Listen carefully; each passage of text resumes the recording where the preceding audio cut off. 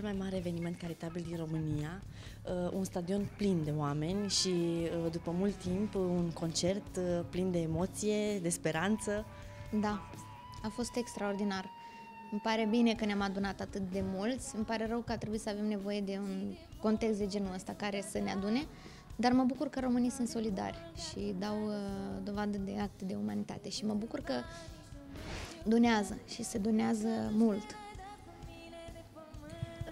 Știu că pentru uh, toți a fost o perioadă și este o perioadă dificilă, însă aș vrea să știu ca artist cum se simte toată această nebunie, pentru că vorbeam și cu colegii tăi de breaslă, e complicat să uh, încerci să-ți duci arta mai departe, că până la urmă viața merge mai departe, dar în, în astfel de vremuri e, e greu. Da și nu. Uh, fix înainte să înceapă toată nebunia, aveam, aveam pregătit un proiect întreg. Trebuia să lansez album, trebuia să lansez film, trebuia să lansez multe chestii. Am pus totul pe hold pentru că nici măcar nu-mi venea să, să postez ceva pe Instagram. Uh, este foarte greu de digerat ce se întâmplă, dar cel mai greu este de acceptat faptul că în ziua de astăzi uh, se întâmplă lucruri de genul ăsta.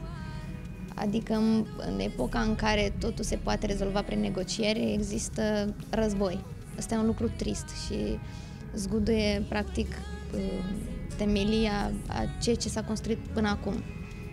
Este strașnic. Uh, e foarte greu să lupți cu chestia asta, dar noi artiștii, noi artiștii nu ar trebui să avem... Uh, noi artiștii trebuie să construim punți și să aducem aminte oamenilor că iubirea este cea care va salva, care ne va salva. Pentru că muzica adună ceea ce e mai frumos din toată umanitatea și chiar, atunci, chiar și atunci când se întâmplă ceva rău, muzica te sensibilizează și îți arată părțile vulnerabile. Și cred că de asta muzica este și cea care adună de mulți oameni împreună pentru un scop atât de nobil.